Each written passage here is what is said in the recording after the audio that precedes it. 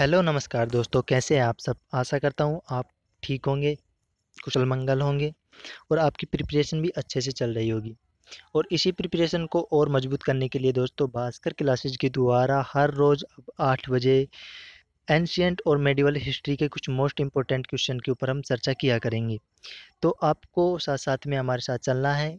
जितने क्वेश्चन आपके ठीक हो पाते हैं, दस से बारह क्वेश्चन हम डेली की डील किया करेंगे तो उन क्वेश्चनों के आंसर आपको कमेंट बॉक्स में देना है या बताना है कि आपको कितने आंसर आपके ठीक हो पाए हैं। जैसे हमें आपके साथ इंटरेक्ट करने में थोड़ी आसानी होगी कि आपको कितनी नॉलेज है और किस टाइप से हमें क्वेश्चन मॉडिफाई करने हैं। तो चलते हैं आज के कुछ क्वेश्चनों के ऊपर। तो वैदिक काल में पणी नाम से जाने गए समुदाय का मुख्य व्यवसाय क्या था? तो वैदिक काल में जो पणी नाम से एक समुदाय हुआ करता था, उसका व्यवसाय मुख्यतः व्यापार हुआ करता था दोस्तों। नेक्स्ट क्वेश्चन है, ऋग्वेद में पुत्री के लिए प्रयुक्त दुहिता का शाब्दिक अर्थ क्या था?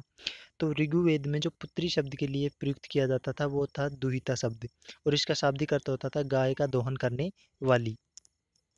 नेक्स्ट क्वेश्चन है समंग सॉरी संगम युग में तमिलों का सर्वाधिक लोकप्रियता देवता कौन था?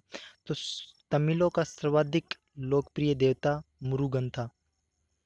मोहम्मद बिन तुगलक ने किस धातु में सांकेतिक सिक्कों का प्रचलन चालू किया था या स्टार्ट किया था दोस्तों, प्रचलन शुरुआत की थी। तो कांस्य सिक्कों में, सांख्य सॉरी कांस्य धातु के सिक्कों में सबसे पहले सांकेतिक सिक्कों का प्रचलन का प्रारंभ मोहम्मद बिन तुगलक के द्वारा किया गया था।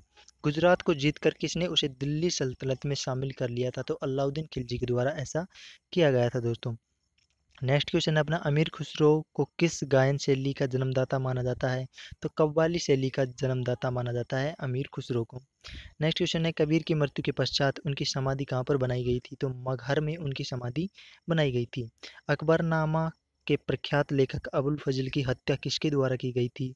तो वीर सिंह देव बुंदेला के द्वारा उनकी हत्या की गई थी अबुल फजल की।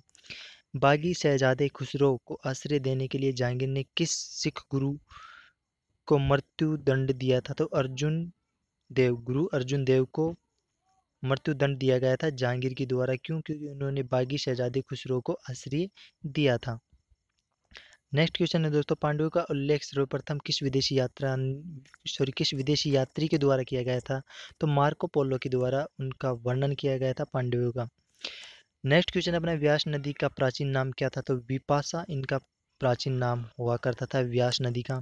छठी शताब्दी ईसा पूर्व में वत्समा जनपद की राजधानी कहाँ हुआ करती थी? तो कौशाम्बी में इसकी राजधानी हुआ करती थी।